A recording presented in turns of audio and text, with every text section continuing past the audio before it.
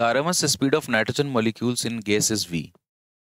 आपने nitrogen gas के molecules नहीं है, उनकी आरएमएस स्पीड आपको वी दी हुई है। अगर आप टेम्परेचर को डबल कर देते हैं and the N two molecule dissociated into nitrogen atoms then RMS speed will become देखो यार, इस क्वेश्चन को सॉल्व करने के लिए सबसे पहले हमको आरएमएस स्पीड का फॉर्मूला पता होना चाहिए। आरएमएस स्पीड का फॉर्मूला होता है root three R T upon molecular weight जहाँ पे टी टेम्परेचर है। अब जो दोनों एक्शंस हो रहे हैं यहाँ पे, उन दोनों एक्शंस में देखो थ्री तो कांस्टेंट रहेगा आर भी कांस्टेंट रहेगा।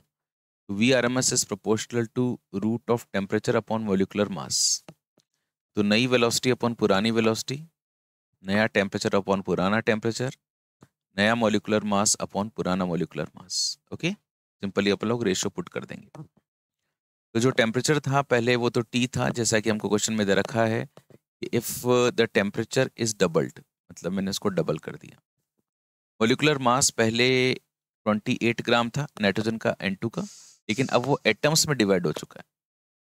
तब एटम में डिवाइड कर दिया। तो एक एटम का जो मास है वो 14 ग्राम हो जाएगा।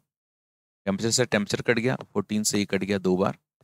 फोर का रूट टू आ गया। तो V two is equal to twice of V one हो जाएगा। मतलब पहले का डबल हो जाएगा।